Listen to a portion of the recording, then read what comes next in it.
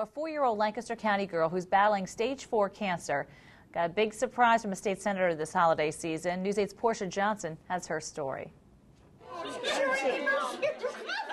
You may not think a girl her size could be so strong.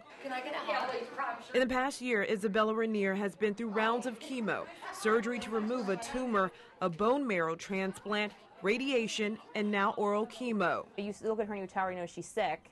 And she goes, I'm not sick. I don't know what you're talking about. You know, like she's so doesn't understand even what would happen. Isabella's mother says neuroblastoma, a rare type of childhood cancer, has not faded her smile. She had a fever 104, 105, 106, and she just looks at you and smiles like, you know, nothing's wrong.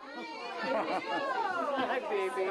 Isabella's mother says she has not been able to keep medical insurance for her daughter, so family and friends have chipped in with Isabella's medical bills, costing about $1,500 a month. The family hosted a thank you party, but it turned into a early Christmas. Surprise gifts for Isabella and her brother JD. And that wasn't all. Waiting outside was the West Hempfield firefighters. Isabella and her family got to ride along.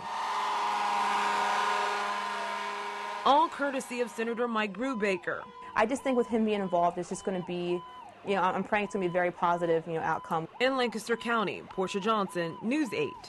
A special day, huh? And Senator Brubaker says he will do everything he can to help Isabella get the medical coverage she needs.